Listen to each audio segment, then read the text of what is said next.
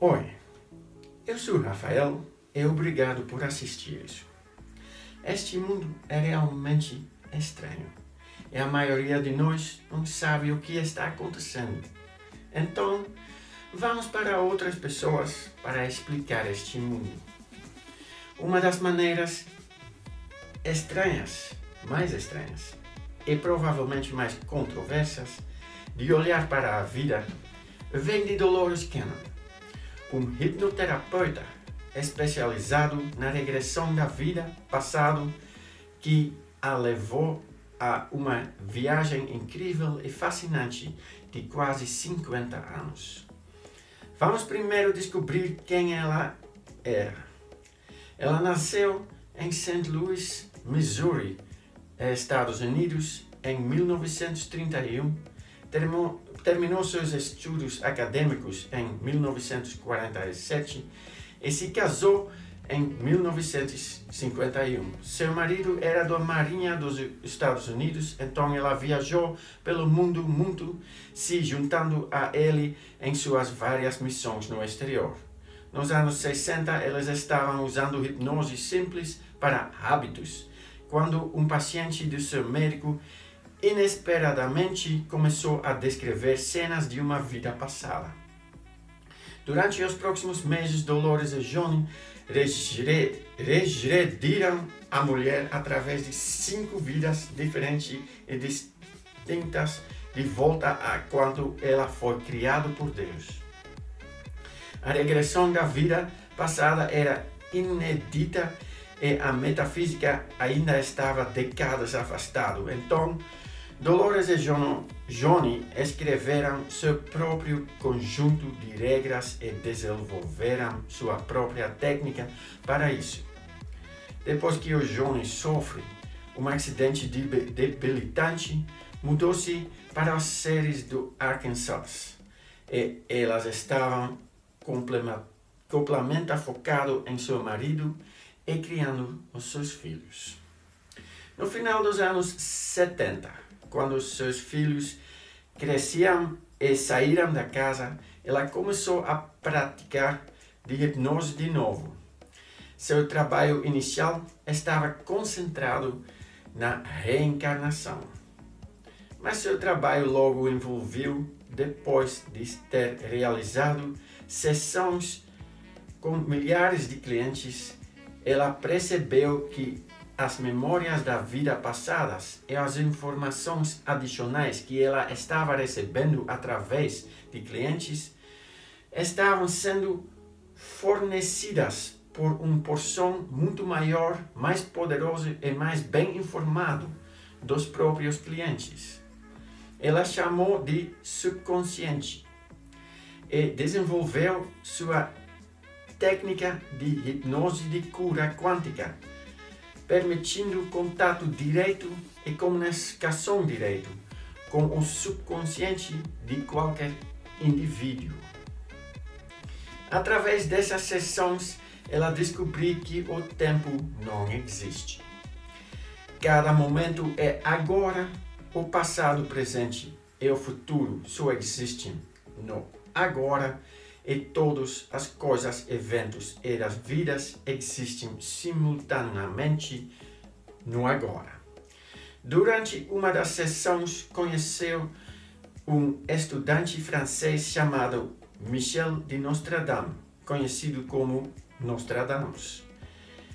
Ele começou a falar diretamente com Dolores, afirmando que ele tinha que ocultar suas previsões em quatrens por causa da Inquisição, mas que a diferença entre o francês moderno e o francês do século XVI significa que eles são mal interpretados. Isso levou a Dolores publicando três livros chamados Conversões com Nostradamus, detalhando os significados precisos de mil quatrens e previsões diretamente do próprio profeta. A partir de meados dos anos 80, ele mudou sua pesquisa através da hipnose para UFOs e extraterrestres. e descobri que existem relações multigeracionais entre linhagens familiares da Terra e do, dos extraterrestres. Há uma riqueza de vida lá fora no universo existente de todas as formas, jeitos e tamanhos. Através de toda a pesquisa, descobri que há uma despertação acontecendo na Terra. As três ondas de almas puras que nunca haviam vindo à Terra vieram aqui e tiveram frequências mais altas que começaram a elevar a nossa vibração, causando o despertação. despertação. A Terra foi criada como uma escola para o crescimento acelerado da alma e estamos nos formando no próximo passo da nossa evolução da alma.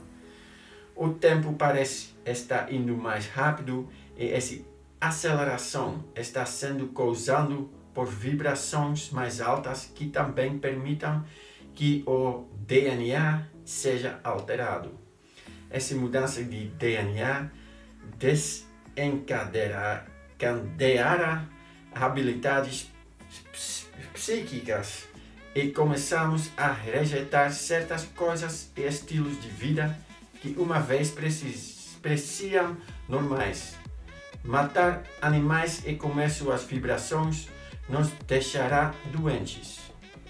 Tudo isso está sendo feito para que possamos mudar a Terra Nova ou a quinta dimensão da realidade.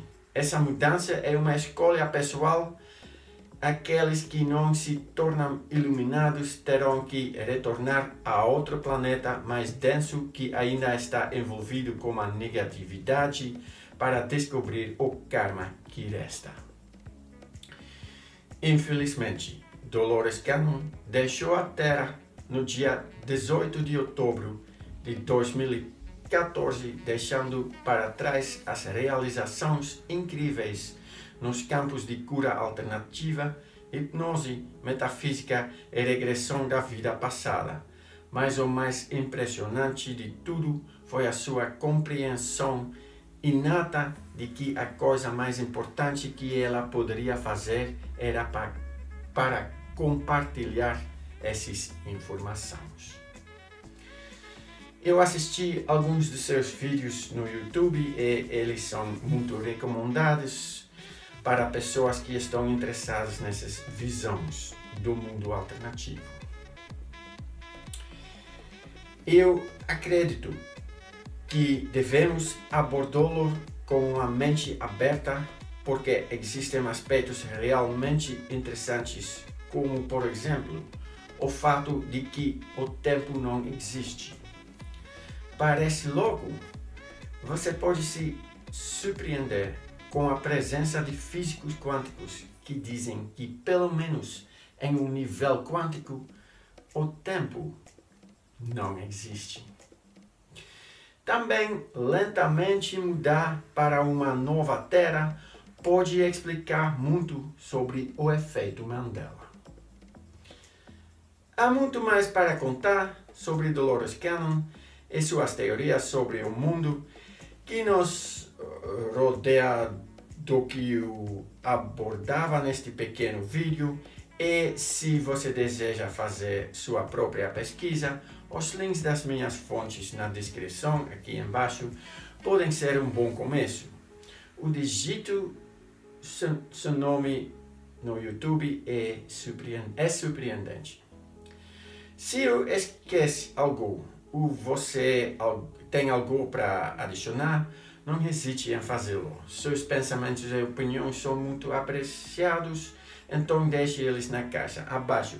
Apenas seja respeitoso nos comentários, pois existem pessoas reais com sentimentos reais no outro lado. Se você gostou desse vídeo, você pode curtir, compartilhar, se inscrever e você pode clicar no pequeno sino para receber notificações. Tenho o meu canal You Decide que você pode querer assistir e do meu esquino deste mundo estranho para o seu. Espero vê-lo na próxima vez. Tchau!